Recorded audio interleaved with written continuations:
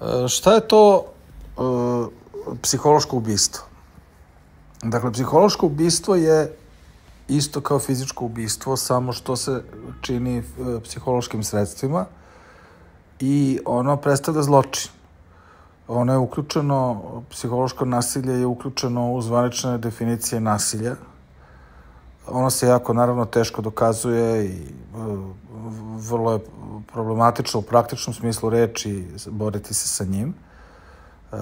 A psihološko ubistvo spada u najteže forme psihičkog nasilja, to je pokušaj da se čovjek psihički uništi dugotrajnom zloupotrebom. I to je ono što doživljavamo i što se često naziva, ili tako, zloupotrebom od strane ljudi sa poremećima ličnosti. E, tako da je u stvari konačni cilj e, svih tih zloupotreba e, na neki način psihološko ubistvo. I vi ćete vrlo često videti da u stvari ljudi koji druge zlostavljaju i koji ih sistematski izlažu psihičkom pritisku bi bili najsrećniji kada bi ti drugi ljudi umrli. Kada bi se razbolili, kada bi im se desilo nešto loše, da bi onda imali osjećaj da, da oni imaju moć, da oni imaju značaj, i da su oni u stanju svojim postojanjem i svojim uh, ponašanjem da utiču uh, na život i na smrt drugih ljudi. Dakle, to su ozbiljne i teške uh, forme zla u karakteru.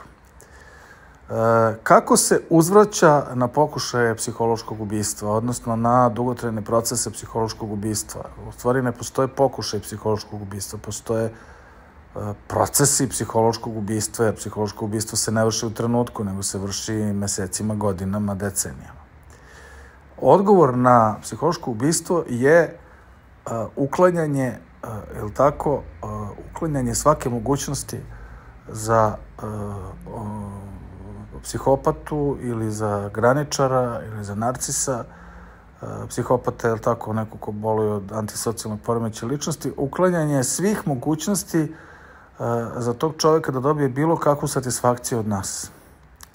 Drugim rečima, odgovor na psihološko ubistvo je na neki način simboličko ubistvo zla u tom drugom čoveku. A to se vrši tako što se taj čovek potpuno mu se zatvori dotok krvotoka. Zatvori mu se dotok e, psihološkog krvotoka. Dakle, zatvori mu se dotok svih senzacija, svih reakcija, svih informacija, svih emocija, svih komunikacija kojima se on hrani.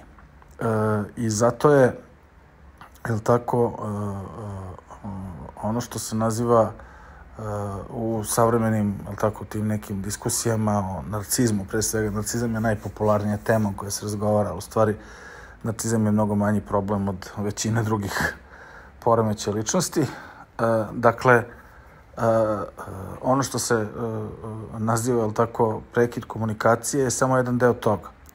Znači, prekid ne samo komunikacije, nego prekid razmišljanja o toj osobi, prekid bilo kakvog upućivanja, bilo kakve pažnje toj osobi, prekid bavljanja tom osobom, prekid razgovora o toj osobi sa trećim licima, prekid totalno lišavanje svih direktnih i indirektnih, pa i telepatskih, ako hoćete, jer postoje odnosi među ljudima koji nisu izrečeni, koji nisu nužno, ne zahtevaju da budu u fizičkom dodiru, pa i telepatskih odnosa.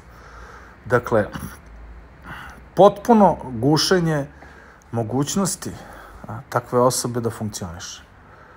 I onda ta osoba, to je faktički uh, uništavanje samog jezgra takve osobe i ta osoba onda nema više mogućnosti uh, da uopšte uh, uh, opstane i ona uh, ili će preduzeti nekakve radnje koje će dovesti u velike nevolje ili će na neki način se okrenuti sama protiv sebe, bilo kroz razvoj depresivne simptomatologije, bilo na neki drugi način. Ali prosto uh, ovo je jedini način, to je ono što Vakne naziva hladnim tretmanom, to je jedini način da se prosto spreči proces psihološkog ubistva.